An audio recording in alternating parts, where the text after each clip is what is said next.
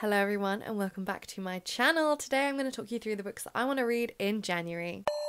Honestly, would you believe that it's like 3pm here in London? It's so dark outside and sorry if you can literally hear the rain because it's like dark and stormy.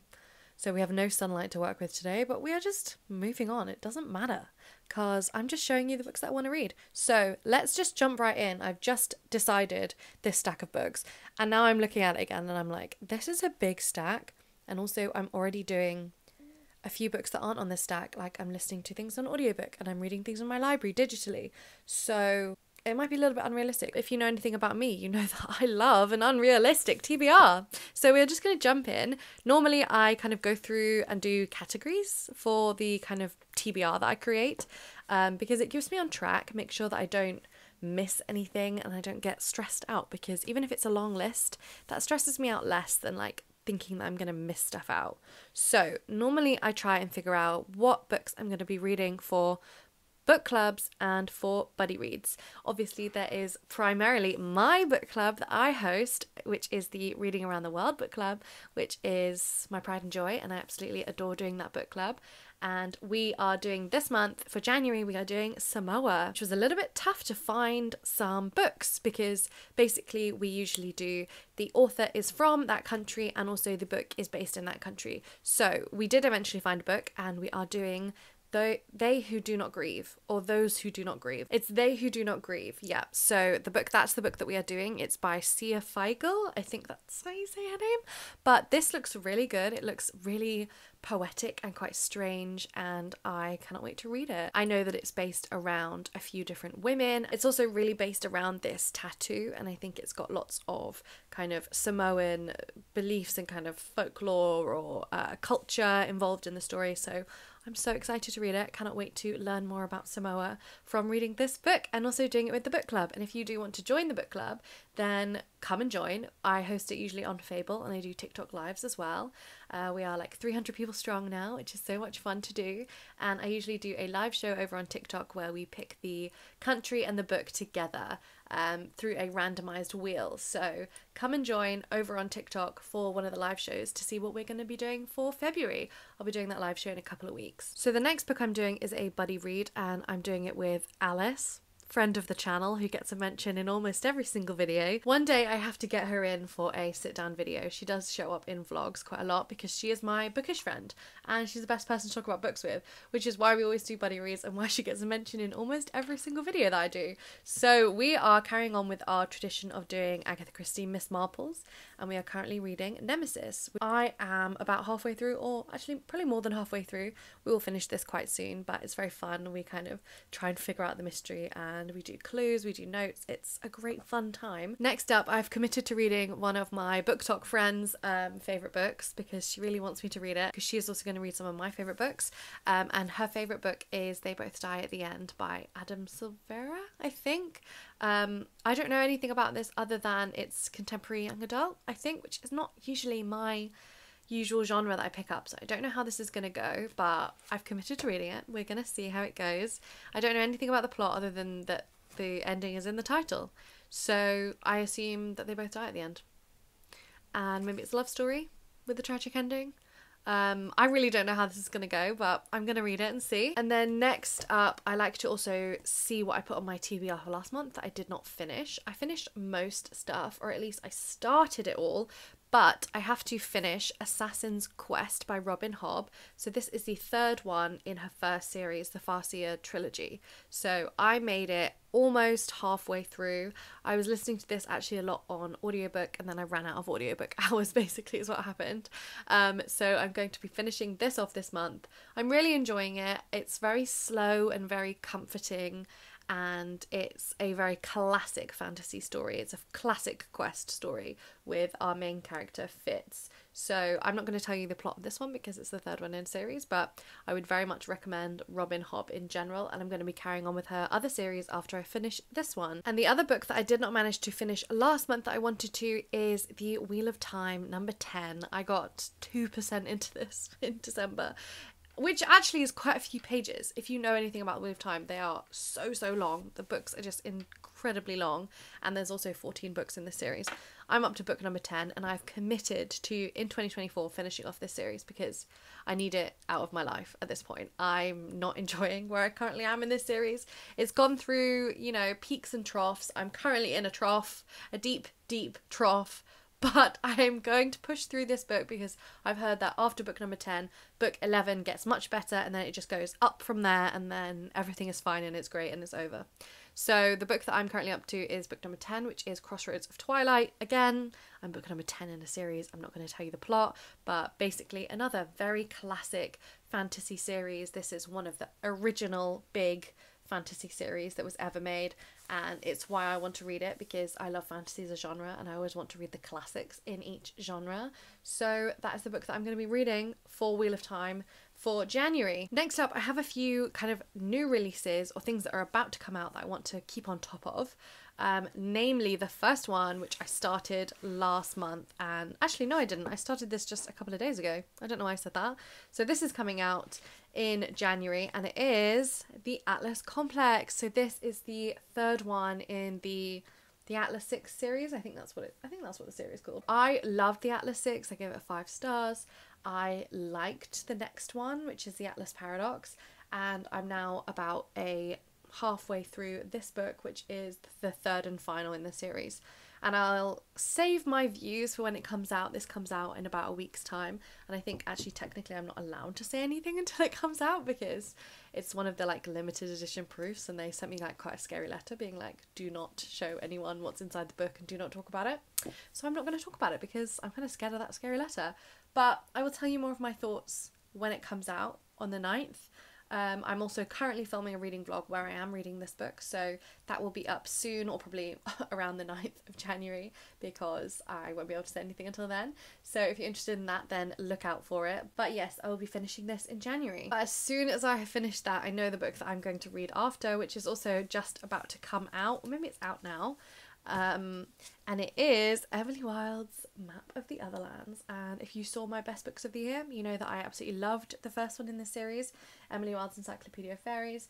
And I just think this is going to be so cute. It's going to be, I think, after some of the longer, heavier fantasy ones that I've been putting on my TBR, this is going to be a breath of fresh air. And I just cannot wait to read it. I honestly really want to start reading it now, but I've told myself I have to finish the other ones that I'm supposed to be finishing before I can start this one, otherwise, I'll just not finish them at all and just read this. These are, I would say, cozy fantasy stories. The first one, you're following Emily, she's trying to finish her encyclopedia. She goes to this very remote, icy village in the middle of nowhere, and she ends up kind of making a fool of herself, and no one really likes her and wants to help her. And then her academic rival and also sometimes friend shows up and kind of gets in her way and it's just a great fun time. I love these books so I cannot wait for the second one. But if you know me at all, you know I do not read blurbs so I actually have not read the blurb of this one because I hate reading anything to do with blurbs and I already know I'm going to like it so I don't need to read the blurb. Another one that is also coming out in January and I've had this on my shelf for a few months actually um, so I'm getting to it now, and it is Loot, which I really love this copy of. It's got this gorgeous gold at the front, and I think this is a historical fiction, um, which normally isn't my like favorite genre, but I really am intrigued by the blurb. It also seems more of an adventure story than just a straight up historical fiction, but I'm really, really excited about this. You're following a toy maker, and I think there's kind of an unexpected hero's quest. Um, I've seen some early reviews for this, and it looks really good, so can't wait to read it, and I will let you know when I have read it. Okay, and then another couple that I want to read that are coming out either in January or early February.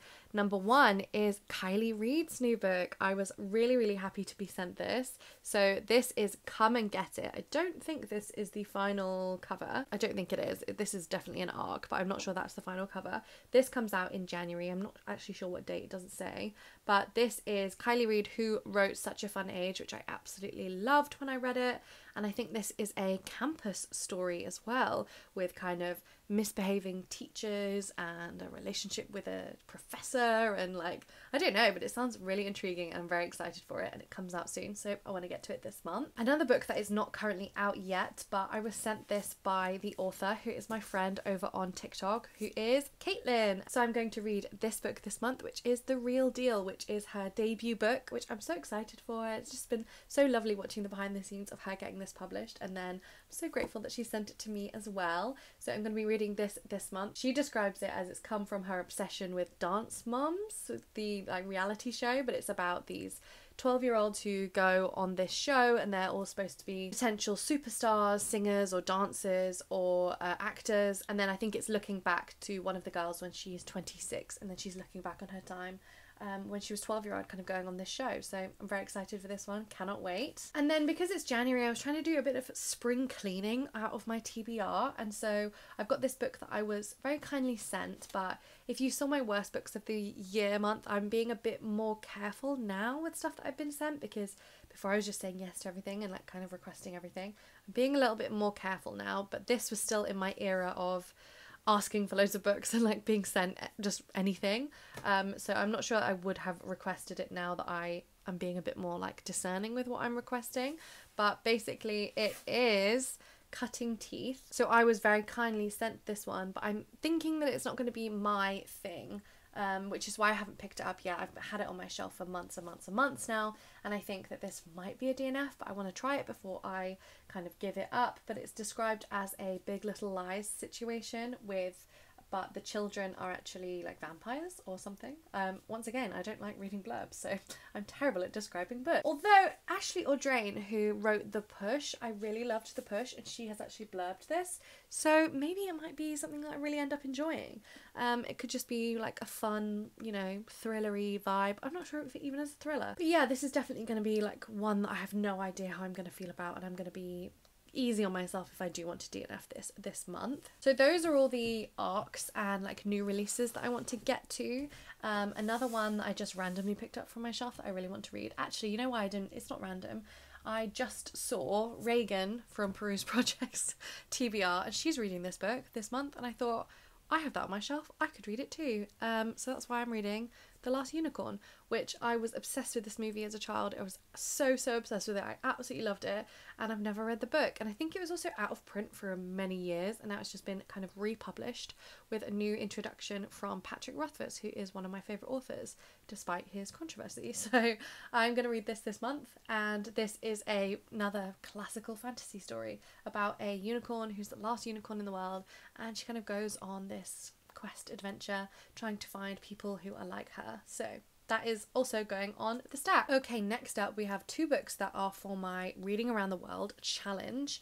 And I usually post these videos individually over on my TikTok, so I don't like to show which books I'm going to be reading for the upcoming month on TikTok, but I do show you the full list on YouTube. I don't really like showing on TikTok the books that I'm going to be reading for the challenge, but I feel like if you're watching me here on YouTube, then like you deserve to know, you know? You you get like a little sneak peek, like a little like behind the scenes of the books that are coming up for my Reading Around the World challenge.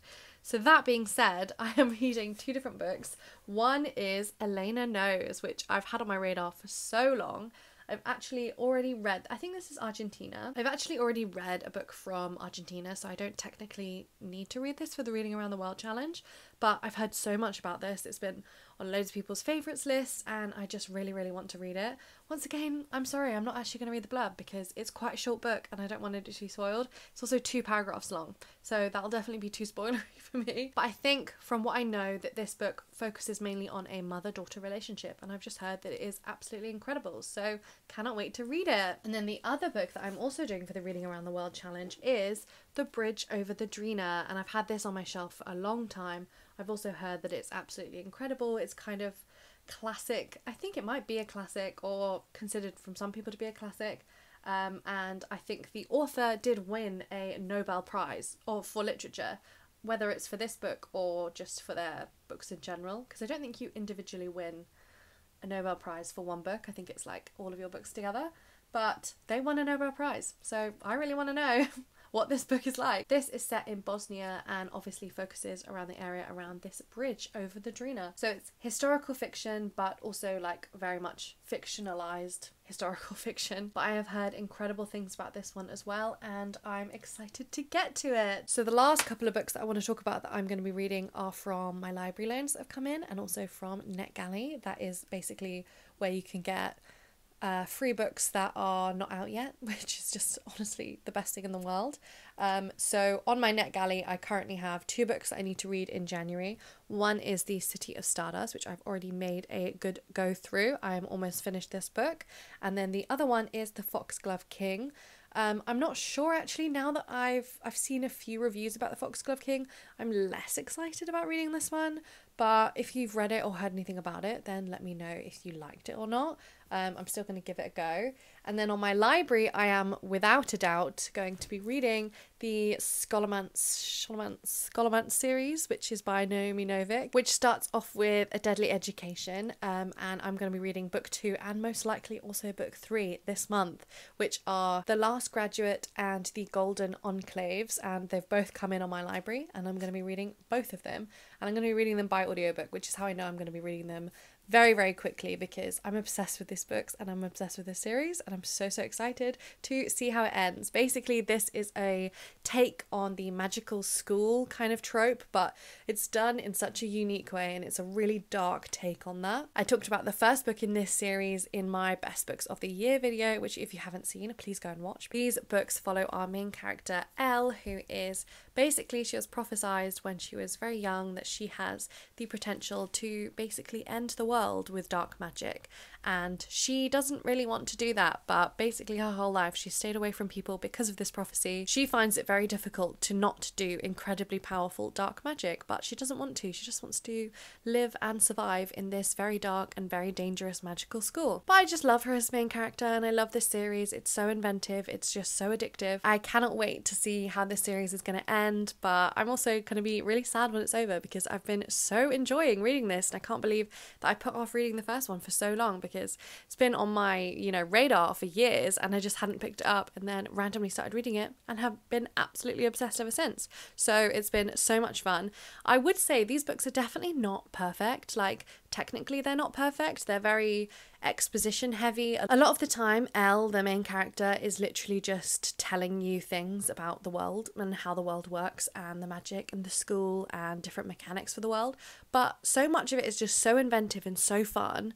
And I also really like the twist that she puts on like things in her own internal monologue that I really don't care. But I could really understand how some people just wouldn't like how these books are written because a lot of them kind of do seem like almost like a lecture being told to you. But I don't know, it just really works for me and I really like it. So those are the 16 books that I'm going to be reading in the month of January. I can only hold about five of them in one hand. Please let me know if you have read any of these books and what you thought, if you liked them, if you didn't like them. And also, please remember to subscribe to my channel because I'm getting so close to 1,000 subscribers and it's just making me so happy. Um, so thank you so much to everyone who has already subscribed because it just is the best thing in the world. And I also just want to say thank you so much to everyone who has subscribed to me this year.